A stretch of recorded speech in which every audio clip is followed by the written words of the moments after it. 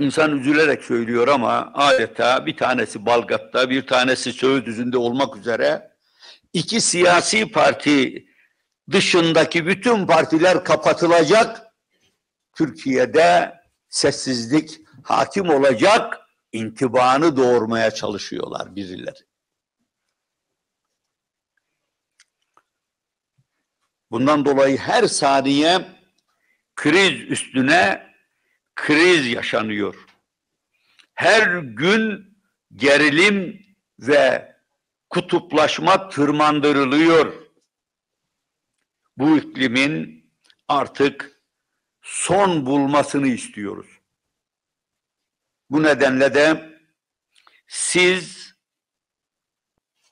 yani iktidar ve ortakları insanlarımız arasında duvar örmeye çalışırken bizler de milli görüşçüler de ısrarla inadına kardeşlik fikrini hakim kıl, kılmak için bütün gücümüzle çalışmakta kararlıyız.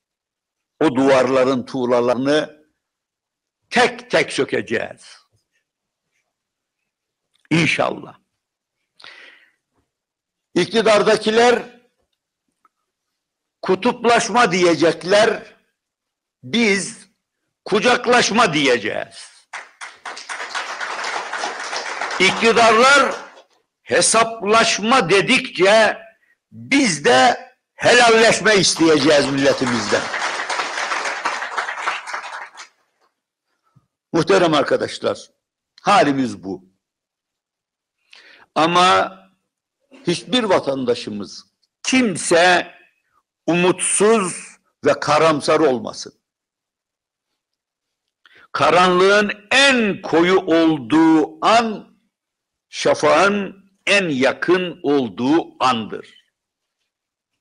Herkes bilmeli ki şafak yakın. Bu sebeple dert var, sorun var ama Allah'ın izniyle çözüm de var. Bizler bunun için biraz önce de tanıtma başkanımız size biraz daha detaylı bilgi verdi. Saadet Partisi olarak tüm il ve ilçe kademelerimizle her bir insanımızın geçim mücadelesine destek olmak, onları dinlemek, seslerini duyurmak, çözümler üretmek, tencerelerinde dert değil, aş pişirebilmek için seçimden önce bir geçim ittifakı kurmakta kararlıyız.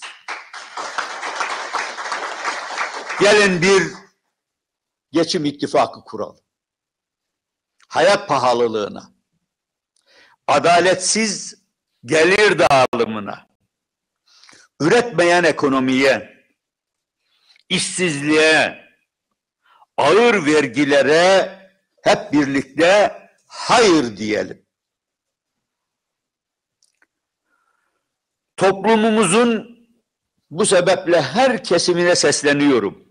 Memurumuza, işçimize, sanayicimize, emeklimize, esnafımıza, işsiz gençlerimize, engellilerimize, kadınlarımıza, erkeklerimize, herkese sesleniyorum. Bütün STK'lara, sendikalara, partilere sesleniyorum. Gelin milletimizle el ele verelim. İnsanımızın ortak gündeminde buluşalım. Geçim ittifakından başka hiçbir şey konuşmayalım. Gündemi oyalayan gereksiz tartışmalara kesinlikle prim vermeyelim. İnsanımızın derdine hep birlikte tercüman olalım. Bir araya gelerek çözüm yolları arayalım. Milletimizin sorunlarını ülke gündemine taşımak adına yürüttü- yürüttüğümüz bu farkındalık kampanyası olan Geçim İttifakı'na görüşü ne olursa olsun bütün vatandaşlarımızı davet ediyorum. Cenab-ı Hak aydınlık, müreffeh, mesut günlerde bizi inşallah bir araya getirsin temennisiyle hepinize Allah'a emanet ediyorum. Bu çalışmalarımızın hayırlara vesile olmasını tekrar Cenab-ı Hak'tan niyaz ediyorum. Allah'a emanet olun. Saadet Partisi